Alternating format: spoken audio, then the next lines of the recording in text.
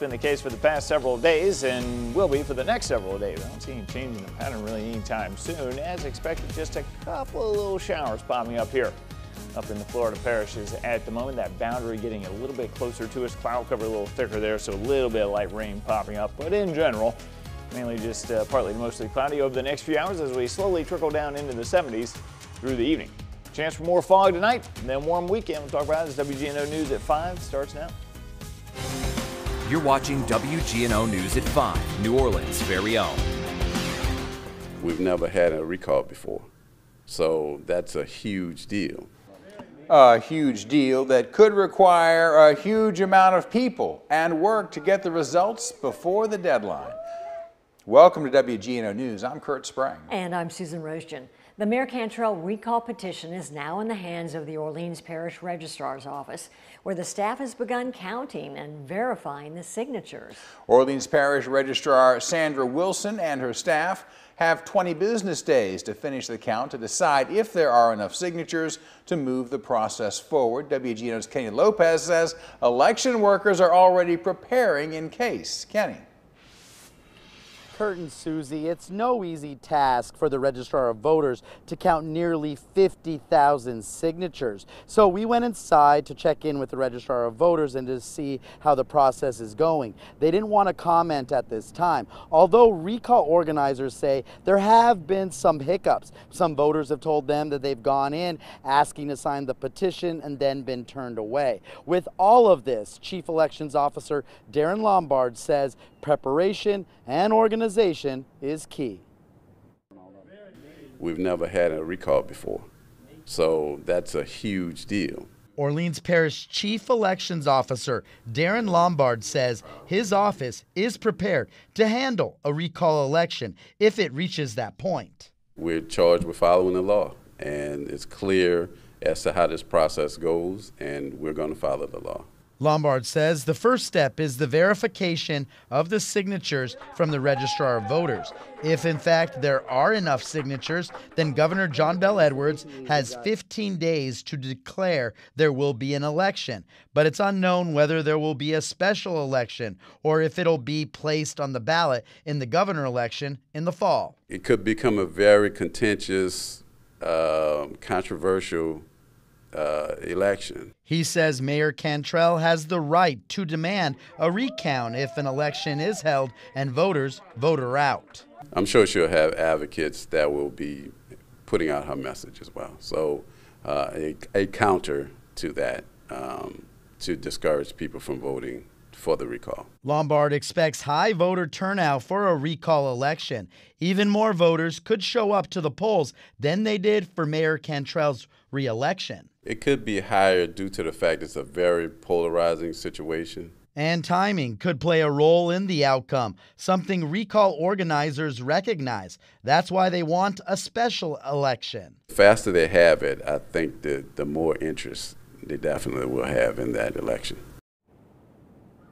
On Monday, there will be a court hearing to see if the inactive voters, those who have died or moved out of the parish, can be taken off the voter rolls. Now, if this happens, that would lower the number of signatures that the recall would actually need. All right, thank you, Kenny. Uh, Louisiana's Secretary of State Kyle Ardoin says the state's legislative auditor recommended canvassing the state to get inactive voters off the rolls a couple of times in the past, never happened. Now, as far as counting the signatures, the state attorney general says Kyle Ardoin gave us permission to operate day-to-day office functions for the Orleans Parish Registrar staff so they can focus on the verification of the recall. Registrar offices from other parishes will also be helping with the verification. And new tonight, Attorney General Jeff Landry says New Orleans deserves better after an assistant district attorney dropped the charges against 19 people accused of illegally carrying a gun during Carnival. In a written statement, Landry says in part, violent crimes have wreaked havoc in New Orleans and dismissing these charges sends a message to criminals that they won't be held accountable. According to him, it's no wonder the city is experiencing such high volumes of violent crime and mass shootings. The NOPD is searching for this man accused of burglarizing a home in Algiers. Police say Eddie Davis entered a home in the 3200 block of Rue Parc Fontaine Wednesday with a weapon. The people inside the home claim he damaged the property before leaving, and they also told police they heard a gunshot outside once Davis left the home. A dispute is brewing between New Orleans-based coffee company Folgers and the city of New Orleans. Next week, Folgers will ask the State Board of Commerce to override the city's decision not to give Folgers millions of dollars in tax exemptions. The community activist group Together New Orleans says if the state board does overrule the city, the city could lose nearly $3.5 million in tax revenue. We are respectfully and forcefully saying, Governor and Board of Commerce and Industry, respect the City of New Orleans, respect the City Council's decision, Dissect, uh, respect the deliberation of our school boards and of our sheriffs, and their decision to say no to those exemptions. Well, if the state board approves the request from Folgers, taxpayers will be required to make up for that revenue loss, which pays for teacher salaries, school supplies, law enforcement, street repair, waste collection, and more. On the North Shore, St. Tammany firefighters are remembering one of their co-workers. Fire Prevention District 1 in Slidell posted this on Facebook announcing the sudden death of fire prevention officer Taylor Bass. The post asks for prayers and privacy for his family. Loved ones and community members are commenting and calling Bass a hometown hero. Covering the world, today marks the one-year anniversary of Russia's invasion of Ukraine. The war has killed hundreds of thousands of people and millions of Ukrainians are displaced, including a quarter of a million Ukrainians now living in this country. President Biden announced a $2.5 billion aid package for Ukraine today and sweeping new sanctions against Russia. He also met with G7 leaders as well as Ukrainian President Zelensky in a virtual meeting this morning. Over the last year, Russia has killed tens of thousands of Ukrainian men, women, and children, uprooted more than 13 million people from their homes. The United Nations overwhelmingly approved a resolution calling for Russia to withdraw its forces. Seven countries voted against it, 32 abstained, including India and China. Not everybody agrees with Governor John Bel Edwards' last budget proposal before he leaves office. It's a $45 billion operating budget with more than a billion dollars in surplus money. It includes teacher pay raises and money for first responders. But if the economy slows, along with revenue from some taxes, the Public Affairs Research Council wants lawmakers to be wary. If you have time, if you start solving it now, and you still have next year, um, to have two budgets before you really have to eat this cliff. Start working on it now. Start trying to find ways you can put some recurring dollars to you know, temporary or short-term expenses, and we have a lot of that. Groups like the Louisiana Association of Business and Industry don't want to see one-time dollars dedicated to recurring expenses. Another concern is the next governor would only have about a year to make adjustments before the next budget is due. According to the Crawfish Price Index, prices are down nearly 40 cents from what they were last year this time. This is the latest look at prices, $3.66 on average for a pound of live crawfish, $5.92 for boiled. Starting March 3rd, we'll have a complete list of prices for vendors across our area on WGNO.com.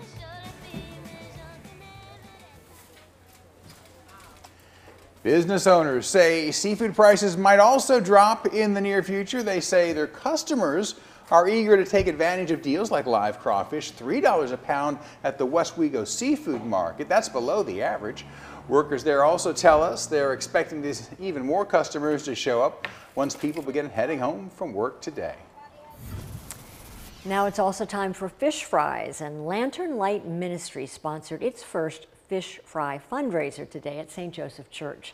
The Fish Fry has been part of St. Joseph's ministry since Hurricane Katrina.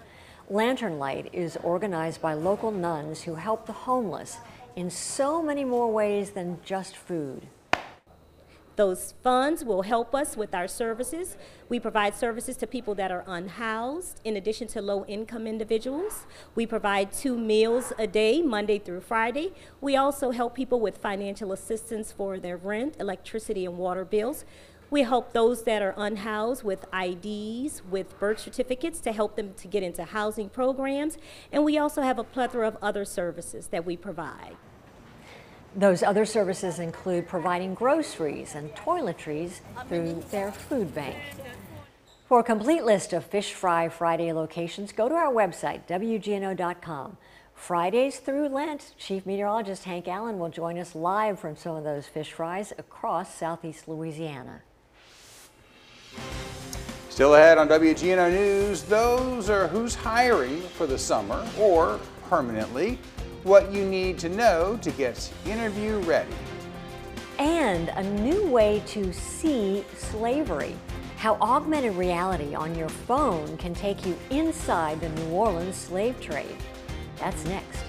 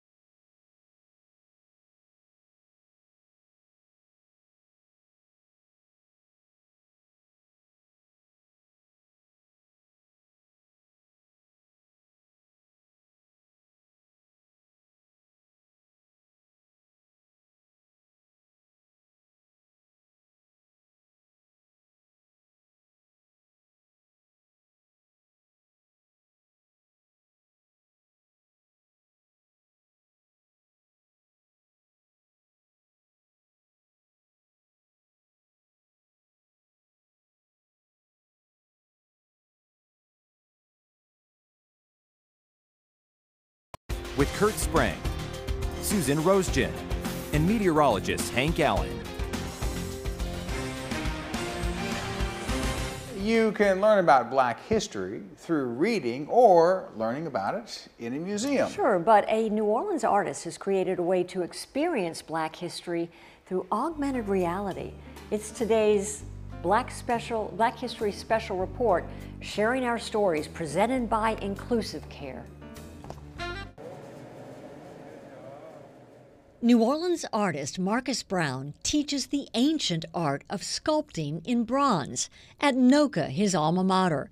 But lately, Brown's art has left the physical world for the digital world of augmented reality. Well, all of it starts in a uh, 3D modeling software where you actually model the actual geometry of the person and sculpt the actual person. Brown is developing a series of augmented reality projects about slavery for historic sites in New Orleans where there's only a marker. This historical marker on Esplanade Avenue tells the true story of Solomon Northup, who was 12 years a slave. But watch what happens here when you download one of Brown's augmented reality projects through an app on your cell phone especially if you download the app at night. Now, Solomon Northup is right in front of you. You can even move between him and the other captives and see the terror in their eyes. With a sculptor's gift for the human figure and computer software, Brown is changing the way we see slavery. Know, by doing this with using technology, it brings people maybe that would not have been interested in the subject uh, able to see it. Brown's latest project is augmented reality of the dreaded Middle Passage on a real slave ship that sailed into New Orleans in 1719. This is black history made uncomfortably almost real. You can find Marcus Brown's augmented reality slave ship when you're at the historical marker on the moonwalk. You just point your phone or your iPad toward the river. The Solomon Northup marker is on Esplanade near Charter Street. You need a newer model iPhone or iPad to download an augmented reality app, and then you scan the QR code that's on the markers. And we want to remind you to tune in tomorrow night for our special honoring Black History Month, sharing our stories. It's a one hour program hosted by LBJ, Christopher Leach, and Stephanie Chaynock. It follows our 10 o'clock newscast and all of uh, we are all month long we are honoring Black History with on our website wgno.com. All right, warm again today. That 84 in Slidell, tying the warmest temperature of February. That's a monthly record high that we tie. We got more on the way this weekend. Details coming up. And that warmth is something we should be thankful for. Snowstorms hitting almost half of the country. But we'll show you something beautiful that came out of this wintry mess.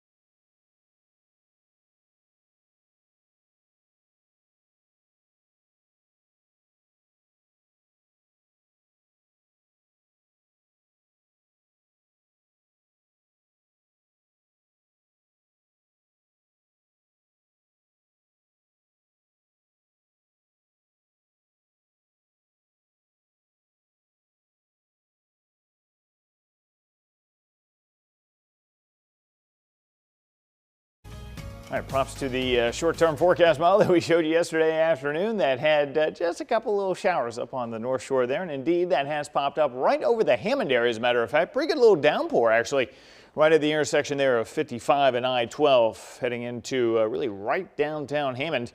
See that red? I mean, it's small, but that's pretty hefty little downpour trekking off to the northeast, so heads up for that on that commute here uh, as we speak. But otherwise, the rest of the area looking pretty quiet. You hate to call it a summertime pattern because we're in late February, but that's pretty much what we're in here. We've got that big ridge of high pressure over the Gulf starting to slide away just a little bit. So on the edge of that, sometimes you can get a little bit of that rain, and that's what we saw popping up. Now there's a look at the Boulevard Beach Cam, and we're looking at the potential for another foggy night tonight across the area. And you can see that marine layer is already out there.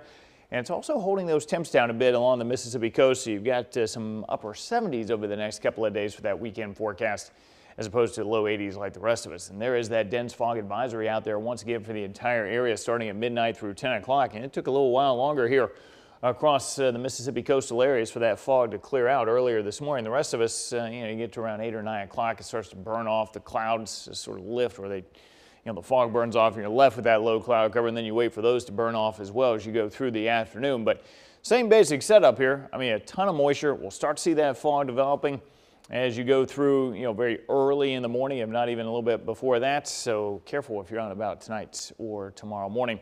Temperature still right around 80 across the area. And here's the pattern. I mean, this is wild stuff. You've got, you know, winter weather advisories being hoisted in Los Angeles right now and different stuff out in California because you got this huge trough in the west. So if you got a big trough there, of course, you got the big ridge in the southeast. And that's what we have right now. It's just blocking this weather pattern from moving into our area. So you've got winter, as we saw going into break there, across a good portion of the country, but not in the southeast, and it's not changing anytime soon. So watch out for that fog early tomorrow morning as temperatures struggle to dip into the upper 60s. And then again, same theme as the past couple of days. A lot of cloud cover to start, sort of that gray, foggy, gloomy start. Then you get some sun by the afternoon as you get back into the low 80s. I don't see really any change anytime soon. A weak front tries to get in here on Monday, which may lower the humidity just enough to cool those overnight lows down a little bit. But notice, you know, I had some 50s the past couple days. Looks like it kind of stalls out again, so we may not even get those, but it'll be slightly cooler at night into Tuesday morning. I think a little better shot of that next front coming in Thursday or Friday, which cools us down, relatively speaking, into late next week. But in the meantime, spring continues in the next few days. Yeah, ready for Jazz Fest. Thanks, Hank. Yeah. While we are seeing some unseasonably warm temperatures, other parts of the country, as Hank mentioned, not so lucky. The Minnesota Department of Natural Resources caught some incredible video from the snowstorm.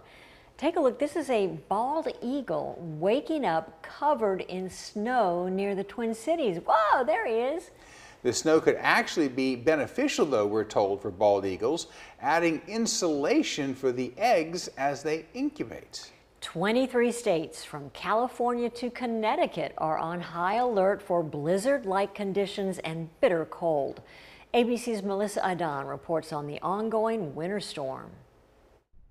This late February winter storm bringing heavy snowfall across the country, as well as thunderstorms and power outages, as seen here in Northern California at just roughly 2,200 feet elevation. In Portland, Oregon, drivers got stuck on the road, some waiting more than 12 hours for highways to reopen. I, I, I parked it here and I got, I got to wait for a tow truck.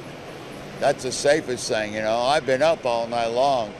You know, I'm tired. It's not only cold, but also dark for these still without power. In some areas, power lines are encased in ice, creating a lot of problems. More than 700,000 reported outages in Michigan. What we really need is everything to melt before the winds start. If everything is still frozen when the winds start, these outage numbers across the state are going to climb. In the Midwest and the Northeast, residents are digging out from the second winter storm. Minneapolis saw over one foot of snow, marking the city's second biggest February snowstorm. A rare blizzard warning issued for Southern California, where up to eight feet of snow is possible in the highest elevations and in the unlikely places. The Hollywood sign seeing a dusting. Six inches of rain is forecast here in Southern California. And aside from dangerous road conditions, there's concern here of possible flooding and mudslides. Melissa Adan, ABC News, Los Angeles. Tomorrow, Nord is hosting a career fair at the Milne Rec Center on Franklin Avenue in Gentilly. It runs from 10 to 1. Hiring managers will be conducting interviews for both permanent and seasonal positions. Applicants must have a recent resume and a government issued ID. We'll be back with a preview of News Nation after the break.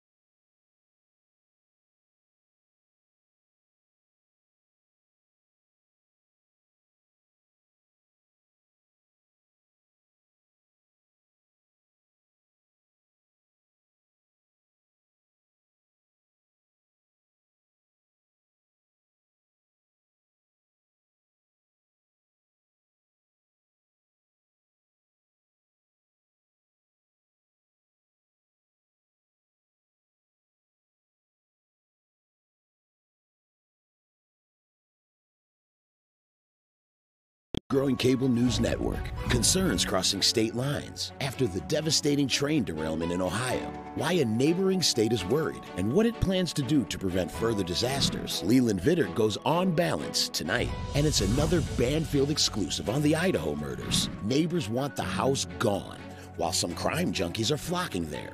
Tonight, we'll tell you the fate of the home and how students feel about the owner's decision. See why more people are turning to News Nation. To find News Nation, go to newsnationnow.com and click Channel Finder.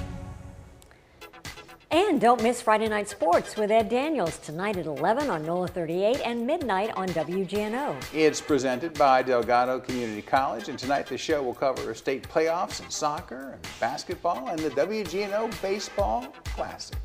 And thanks for watching WGNO News right now. Stay tuned for World News tonight. It's next. We'll see you back here at 6.